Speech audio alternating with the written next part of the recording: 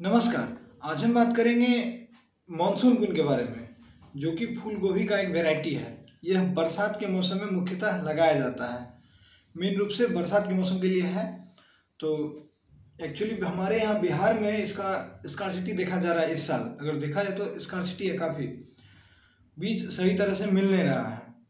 तो आप ऑनलाइन भी ट्राई करें और आपको अगर लोकल ने कोई प्रोवाइड कर रहा है, कोई डिस्ट्रीब्यूटर तो आप वहाँ से ले लें। या आप किसी सिंजेंटा के कोई भी ऑथराइज डीलर है तो उससे आप संपर्क करें।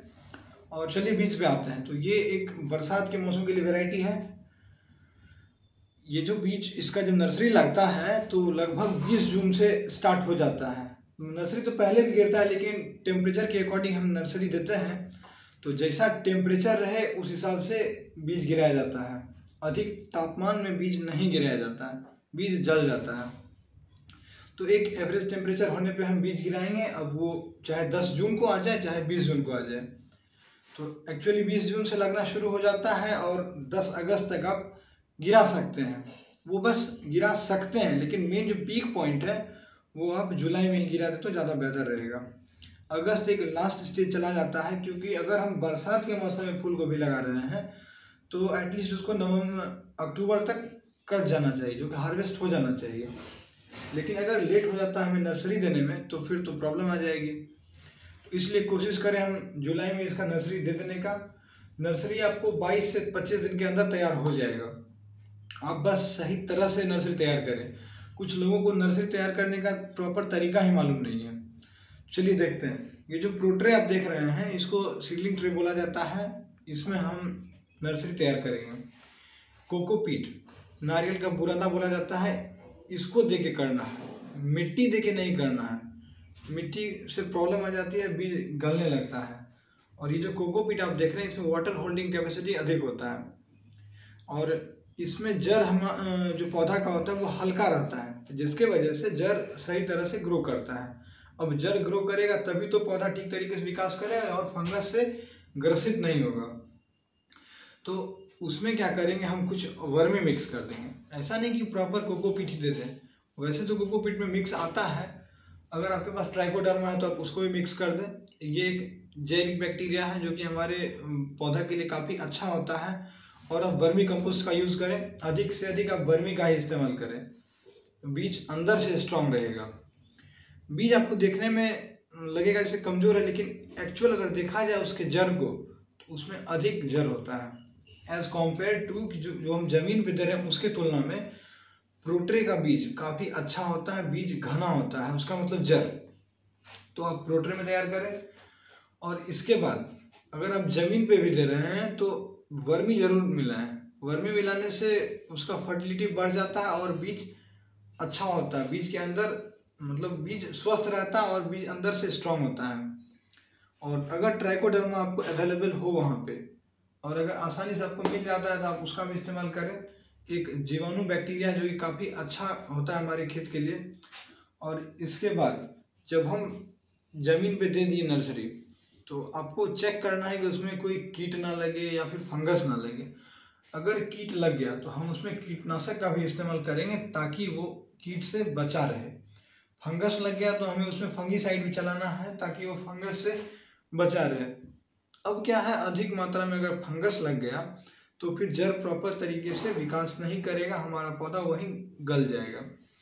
अब जड़ के पास देखेंगे कॉर्नर के मतलब टिप पे, एकदम नीचे ब्लैक होके सूख के वहीं से पत्ता मुड़ जाएगा, ठीक इसी तरह मुड़ जाएगा। तो ये सब नहीं होना है, क्योंकि बारिश होता है, उसी समय ये सब प्रॉब्लम आती है। तो आप इसका विशेष ध्यान दें कि बारिश हुआ तो उसको जाके चेक करें कि फंगस ना लगा, कीट ना लगा कीट लग गया तो फिर तो प्रॉब्लम है, अधिक मात्रा में लग गया तो और दिक्कत है तो आप उसके लिए भी आगे वीडियो बनेगा। लेकिन उस समय आप इंसेक्टिसाइड का इस्तेमाल ज़रूर करेंगे। और जब ये 22 से 25 दिन हमारा बीज तैयार हो जाएगा, फिर हम इसे ट्रांसप्लांट करेंगे। तो जब ट्रांसप्लांट करेंगे तो वो लगभग डेढ़ फीट एक हाथ जिसको बोलते हैं, डेढ़ फीट अठारह इंच का पंक्ति बनेगा। अब 18 इंच व 20 इंच पे लगाएँ, अब जैसे आपको लगाने का इच्छा। 18 इंच अपॉन 20 या फिर आप 20 बाय 20 के रेशियो में दे सकते हैं। ये आप पे डिपेंड कर रहा है। आप कोशिश करें वैसे खेत में लगाने का जो खेत ऊँचा हो, क्योंकि अगर बारिश पड़ा तो पानी वहाँ नहीं होना चाहिए जड़ के आसपास। अगर अधिक मात्रा में बरसात के मौसम में क्या है? पानी आएगा, बारिश होगा। अधिक मात्रा में पानी नहीं लगना चाहिए। जड़ गल जाएगा, पौधा सूख जाएगा, तब आप फिर बीज को दोष देंगे। तो ये बात हो गया। और अब बात करें कि बीज का औसतन साइज़ क्या है इस जो होगा फूल गोभी कर्ड का साइज़ फूल का वज़न, उस पर बात करते हैं। अप्रोक्सीमेटली औसतन उपज की बात करें तो 500 ग्राम से 700 ग्राम के बीच वो कर्ड का साइज़ होगा, फूल का साइज़ होगा। पर पौधा, हर एक पौधा में 500 ग्राम से लेके 700 ग्राम तक निकलेगा। मेच्योरिटी पीरियड की बात करें तो ये 55 से 60 दिन में पहला हार्वेस्टिंग स्टार्ट हो जाएगा। 55 से 60 दिन में ये पौधा तैयार हो जाता है। 80 दिन में तो आपका खेत खाली। तो इस बात का आप ध्यान रखें। और जो पैकेट बताए मानसून क्वीन इस पैकेट में लगभग सॉरी नेट 2000 काउंट बीज होता है। लगभग क्या? नेट 2000 काउंट बीज आता है इस 10 ग्राम के पैकिंग में।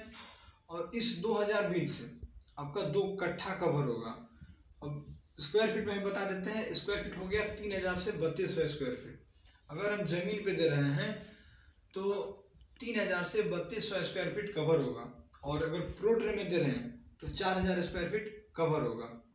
एक अप्रोक्स बता रहे हैं। ऐसा नहीं कि कैलकुलेट किया हुआ है, कभी बीज गल जाता है, जल जाता है, इसी वजह से एक एवरेज बता रहे हैं। और ये जो पैकेट आप देख रहे हैं, ये 500 के आसपास मिल जाएगा आपको 500 से साढ़े पाँच के बीच। मानसून क्वीन फिर से बात करें सिंजेंटा का मानसून क्वीन बरसात के मौसम के लिए अच्छी वेराइटी है। आप इसको प्रोट्रे में तैयार करें, बेहतर रिज़ल्ट के लिए। और ऐसे तो आप ज़मीन पर भी लेके तैयार कर सकते हैं। प्रॉपर मात्रा में उसमें फर्टिलाइज़र दें मतलब वर्मी कंपोस्ट ऑर्गेनिक ज़्यादा से ज़्यादा इस्तेमाल करें। और जब हम ट्रांसप्लांट कर रहे हैं तो कोशिश तो करें उस समय भी आप बर्मी का इस्तेमाल करें। जितना ऑर्गेनिक देंगे, उतना हमारे खेत को भी फ़ायदा होगा और फ़सल को भी फ़ायदा होगा और हमारे स्वास्थ्य को भी फ़ायदा होगा। और प्रॉपर मात्रा में जो भी कीट लगेगा तो कीटनाशक का इस्तेमाल करेंगे और फंगीसाइड का इस्तेमाल करेंगे।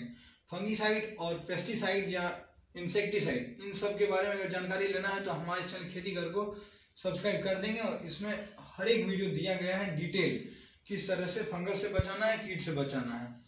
तो अगर आपको वीडियो पसंद आया तो वीडियो को लाइक कीजिए और हमारे चैनल खेती घर को सब्सक्राइब ज़रूर करें। धन्यवाद।